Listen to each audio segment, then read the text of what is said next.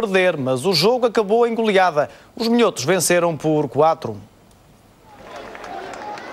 Domingos Paciência operou uma enorme revolução na equipa do Braga. Do 11 habitual, apenas Rodrigues e Mateus. A União de Leiria adiantou-se no marcador por Cássio.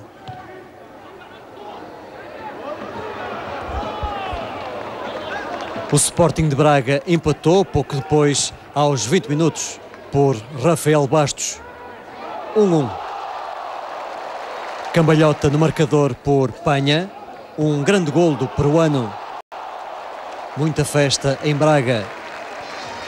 E ainda antes do intervalo, o Braga chegou aos 3-1. Centros de Panha e gol de Mateus. Na primeira parte, esta equipa de segundas linhas do Sporting Clube de Braga foi mais forte nos segundos 45 minutos, já com o reforço Renter em campo, o Braga chegou ao quarto golo por Paulão. Pouco depois, os minhotos outra vez a cheirar o golo. Adriano rematou para a defesa de Helder Rodrigues. Ao terceiro jogo nesta Taça da Liga, a primeira vitória do Braga, resultado final 4-1. As segundas linhas do Minho deixaram boas perspectivas para o futuro. Do lado da União Leiria, Lito Vidigal.